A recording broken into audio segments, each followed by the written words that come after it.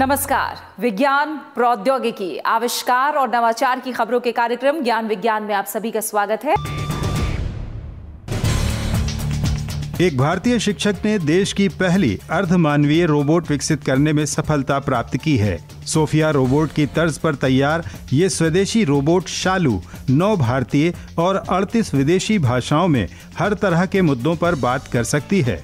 IIT Mumbai के केंद्रीय विद्यालय में कार्यरत कंप्यूटर साइंस के शिक्षक दिनेश पटेल ने इस रोबोट का निर्माण किया है। देश में ख्याति पा चुकी ये स्वदेशी महिला रोबोट हाथ मिलाने, खुशी, क्रोध, जलन हँसी मज़ाक जैसी मानवीय संवेदनाओं को न सिर्फ़ समझ सकती है, बल्कि उसके अनुरूप व्यवहार भी करती है।